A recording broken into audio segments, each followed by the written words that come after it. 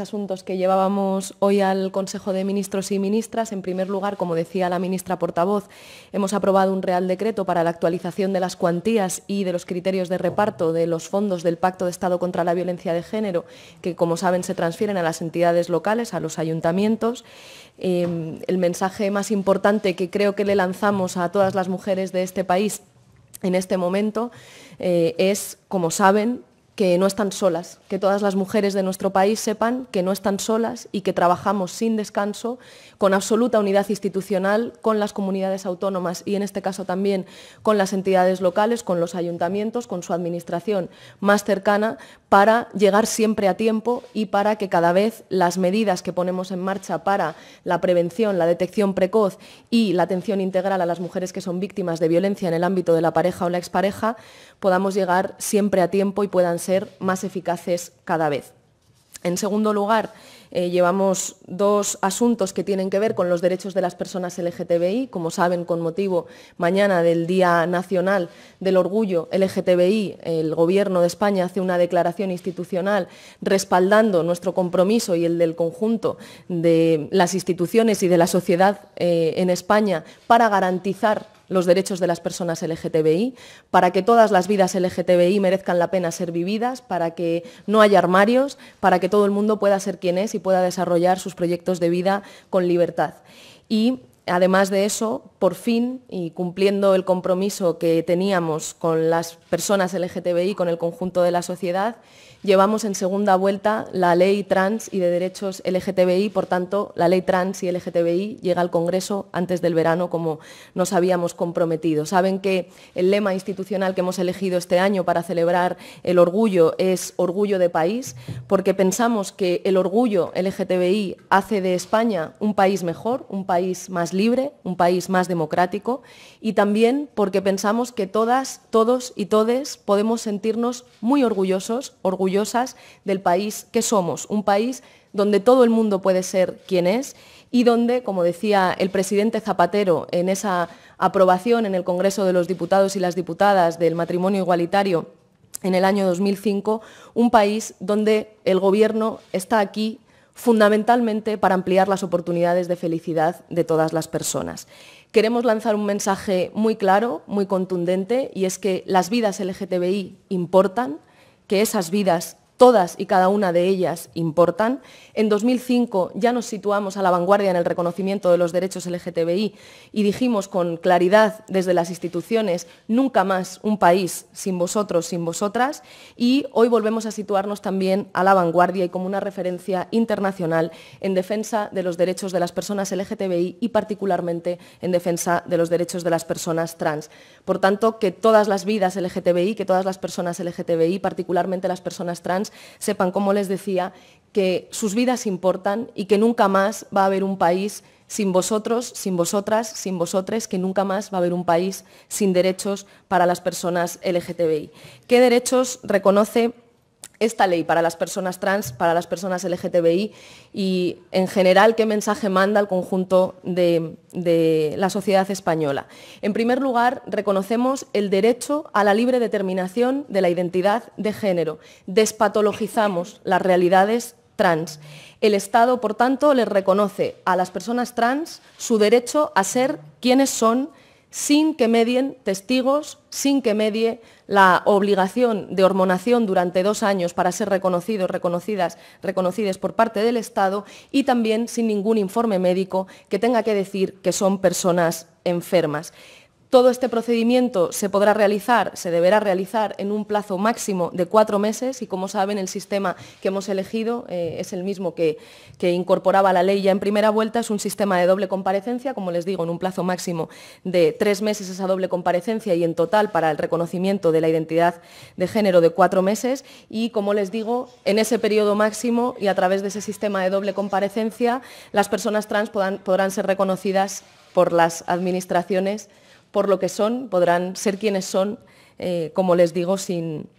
sin miedo y, sin culpa y con el máximo reconocimiento por parte de todas las instituciones. En materia de derechos para la infancia trans, mantenemos la propuesta que hicimos en, el, en, el, proyecto de ley que trajimos a primera vuelta en Consejo de Ministros y Ministras. Eso quiere decir que los jóvenes, las jóvenes entre 16 y 18 años podrán eh, ir al registro y tendrán reconocido su derecho a la libre determinación de la identidad de género de la misma manera que las personas mayores de 18 años. Entre los 14 y los 16 años, el procedimiento, como saben, requerirá la autorización paterna o materna. Entre los 12 y los 14 años, el procedimiento se podrá realizar a través de expediente de jurisdicción voluntaria y por debajo de los 12 años, los niños, niñas y niñas trans podrán cambiar su nombre en el DNI. En relación a las personas transmigrantes, esta sí es una novedad que hemos incluido en este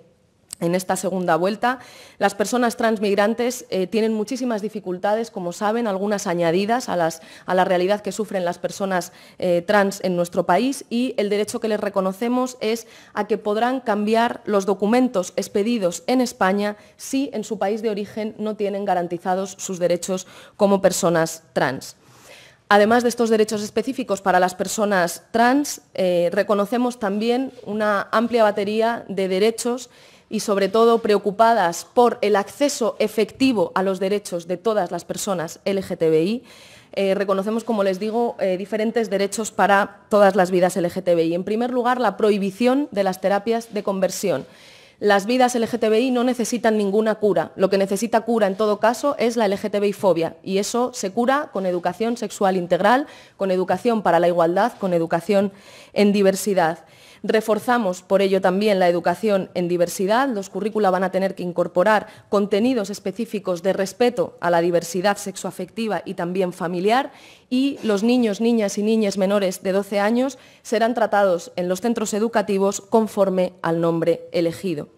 Impulsamos también la no discriminación de las personas LGTBI en los centros de trabajo. Esta es una tarea que, por supuesto, llevaremos a cabo con los agentes sociales, con los sindicatos, con la patronal, pero esta ley reconoce la necesidad de impulsar la igualdad y la no discriminación a las personas LGTBI en los centros de trabajo, prestando especial mm, atención a favorecer la inclusión de las mujeres trans, de las personas trans en general y de las mujeres trans, que como saben son las que tienen una mayor brecha y unas mayores dificultades en el acceso al empleo, eh, por tanto, favorecer la inclusión de las personas trans en el mercado laboral.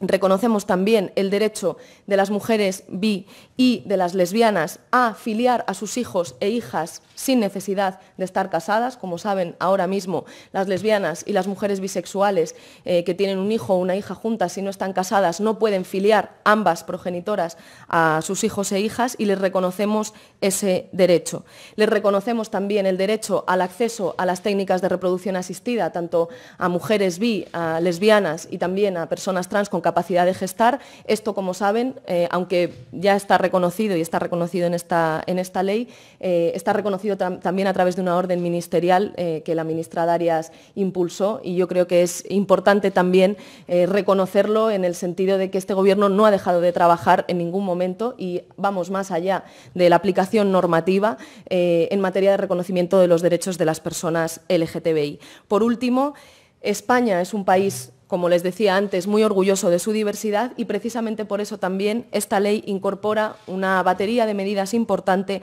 para hacer frente a la LGTBI-fobia a través de un régimen antidiscriminatorio en línea con el derecho antidiscriminatorio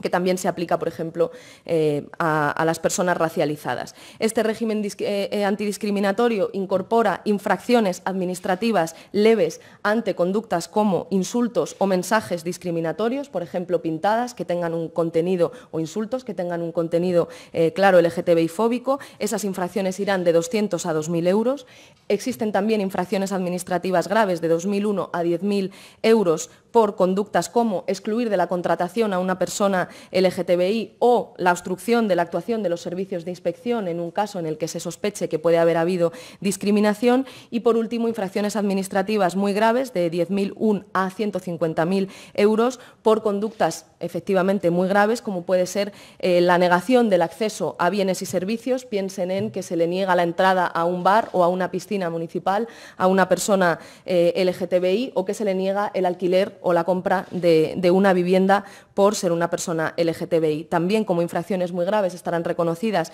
las terapias de conversión o el acoso a las personas LGTBI cuando ese acoso no llega a ser un delito, que entonces efectivamente iría por la vía penal. Y también los contenidos educativos, eh, perdón, los contenidos educativos discriminatorios en los libros de texto, en los materiales didácticos educativos que se utilicen en las escuelas e, e institutos. E incorporamos también medidas para la protección de los niños y de las niñas intersex. No se podrán hacer eh, cirugías de modificación genital y ampliamos el plazo para que esas familias inscriban el sexo de la criatura, que como saben es uno de los elementos de mayor presión que reciben eh, estas familias y reconocemos, como les decía, en definitiva, eh, derechos en el ámbito educativo, en el ámbito sanitario, en el ámbito laboral y también en el ámbito de la lucha contra la LGTBI-fobia para que las vidas de todas las personas LGTBI puedan ser vidas que se vivan con dignidad, sin miedo, sin culpa y sin ningún estigma. Ahora es el turno de las Cortes Generales. Como saben, acompañaremos